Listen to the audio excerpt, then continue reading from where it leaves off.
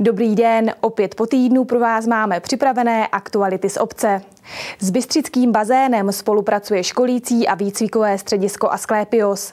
To nyní rozvíjí také aktivity směřující k České základní škole. Čeho přesně se týkají, se dozvíte v následujících minutách. Spolek Asklepios není na Bystřickém bazénu žádným nováčkem. Již třetím rokem realizuje pro zřizovatele bazénu zejména výuku plavání, vodní záchranářství a zajišťuje materiální vybavení k této činnosti. Je de facto o bezpečnost veškerých návštěvníků z řád bazénu, z řád plaveckého areálu a sportovního areálu, který je tím přítomen. No a dále zdravotnický dozor. Eh, na základě toho, že obec Bystřice dbá na to, aby bezpečnost těch návštěvníků a i občanů bystřických byla na nejlepší úrovni, tak vyvinula projekt a de facto vytvořili jsme něco podobného, aby jsme to rozšířili co možná nejvíc. A tak pana vedoucího bazénu Marcela Čmela napadlo, že bychom mohli pěkně tady protlačit i tu první pomoc na další budovu. Od nového roku rozšíří spolek svou působnost také na Bystřickou základní školu a bude v případě nějakého úrazu okamžitě schopný poskytnout první pomoc. Samozřejmě není to od věci, jsme tady tady, je to na blízku a mnohonásobně to může zrychlit dojezdový čas záchranky. Samozřejmě tady ta činnost nenahrazuje, nenahrazuje záchrannou službu. Plavčík je sice vyškolený zdravotnický záchranář, ale nenahrazuje lékaře. Z praxe prakticky ta prodleva může být větší toho dojezdu té záchranné služby. Čím dříve se tam ta pomoc dostane a to vybavení, které tady je a může zachránit, jde to o vteřiny. Děti jsou obecně plné energie a i přes veškerou snahu pedagogů školy není možné se všem úrazům úplně vyhnout. Škola se samozřejmě snaží všemi prostředky, aby se stalo co nejméně úrazů. Je to naše prvotní povinnost. Přesto přeze všechno se čas od času stane, že se nějaký úraz podaří. Mezi ty nejběžnější úrazy patří úrazy při, při pádu na schodech, na chodbách, tělocvičně, z nářadí. To znamená naraženiny, zlomeniny, otřesy mozku a podobně. Když přišla společnost Asklepio s tím, že je možné udělat nějakou společnou akci, která by vedla k tomu, aby ta pomoc, první pomoc byla efektivní, na to jsme samozřejmě okamžitě přistoupili. Škola se spolkem Asklepios připravila několik výukových tabulí, které jsou již nyní rozmístěny po prostorách školy a nabádají žáky, jak se mají chovat, pokud by se stal nějaký úraz. Podstatné je tam to telefonní číslo na toho plavčíka tady na bazéně. Učitelé samozřejmě budou všichni postupně proškoleni v tom, aby tedy věděli, co mají dělat, když se něco stane.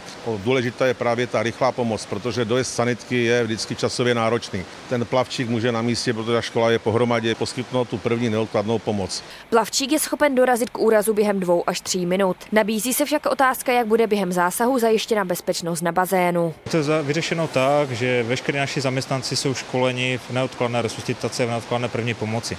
Tak samo ne naši zaměstnanci, co se týče plavčíků, ale i pokladní bazénu, to jsou zaměstnanci obce mají proškolené ve smyslu záchranářského minima, takže mají základní dovednosti k poskytnutí první pomoci. A tady souvisí ta spolupráce. A na základě, když na něho někdo zavolá, tak plavčík si musí zajistit bezpečnost bazénu. Nemůže opustit ten bazén, protože priorita je bazén a lidi v něm. Funguje to takovým způsobem, že plavčík si zavolá pokladní, pokladna uzavře, přijde tady. Jde o to, aby lidé z bazénu po tu dobu, co tu plavčík není, šli ven, aby se nenacházeli v tu dobu ve vodě, to musí zajistit ta paní, která tady přijde. Tím pádem plavčík má volné ruce, může se vybavit potřebným vybavením, které samozřejmě si vezme podle předání té zprávy nebo toho nahlašení toho úrazu a je vyslán na, na tu školu. Do budoucna plánuje spolek zajistit proškolení v tématice první pomoci pro pedagogy a také pro žáky školy.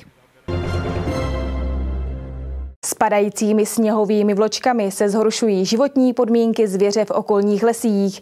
Na katastru obce Bystřice, na kterých hospodaří honební společenství Loučka. To ve spolupráci s Domem dětí a mládeže v Bystřici již po několikáté vyhlásilo soutěž ve sběru kaštanů a žaludů. Jak velkou hostinu bude mít zvěř v letošní zimě, se dozvíme v následující reportáži.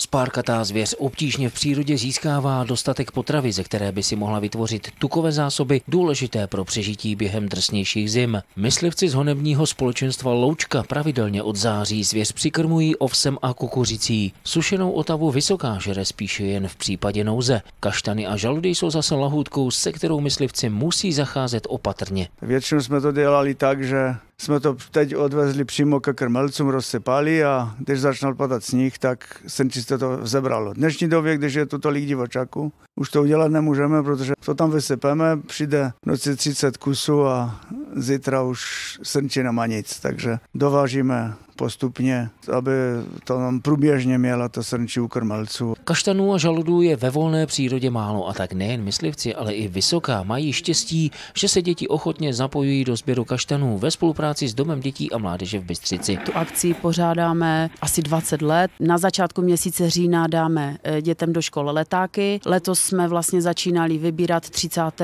října. Vybíráme celý týden. Mají možnost nosit v dopoledních, ranních hodinách a potom i odpoledne.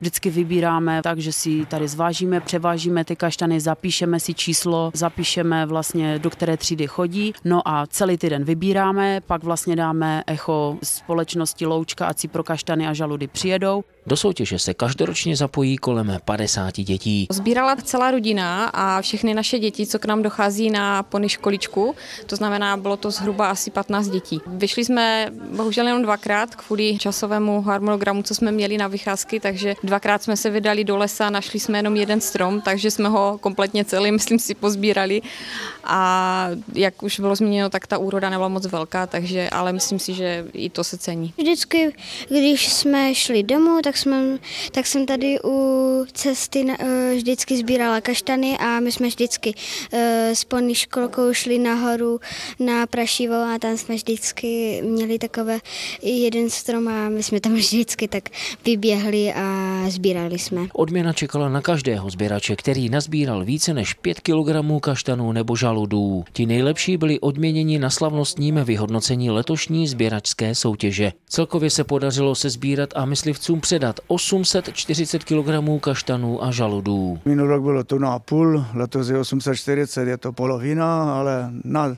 letošní podmínky perfektní. 20 dětí přítomných na slavnostním vyhlášení nazbíralo a odevzdalo více než 15 kg. Ti nejlepší ovšem šli s množstvím mnohem výš. Největším sběračem byl Pavel Kaleta z 6. B třídy, který v letošním roce odevzdal 88 kg.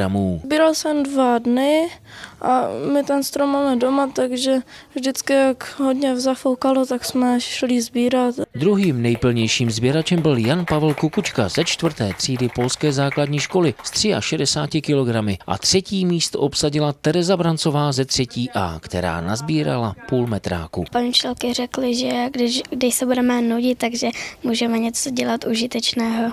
Sběr kaštanů je aktivita, která děti baví. Je jisté, že myslivci z honebního společenstva Loučka se nemusí bát, že by jim děti nechtěli ve sběru pomoci i příští rok a pokud bude lepší úroda, mohou se těšit na větší množství kaštanů a žaludů než letos při slabé úrodě. Plány jsou už teď s ročním předstihem smělé. Tak 100 kilo. No, možná těch 100 kilo. Samozřejmě, 15 chlapů nebo stovky dětí je trochu rozdíl, takže velký dík ještě jednou dětem, že se angažují, že jim není lhostejné osud zvěře, když třeba přijde metr sněhu. Bystřický dům dětí a mládeže vás opět po roce zve na tradiční výstavu Vánoční inspirace. Ta bude v neděli 3. prosince od 9 do 16 hodin v DDM. Připravena je prodejní výstava klubu pečvorků, vánočních ozdob z korálků, skla, z příze, šustí a mnoho dalších věcí. Děti se budou moci opět kreativně vyřádit ve vánočních dílničkách. To je z Bystřického reportu vše. Příští týden se můžete těšit na už vánočně laděné zprávy z obce. Na viděnou.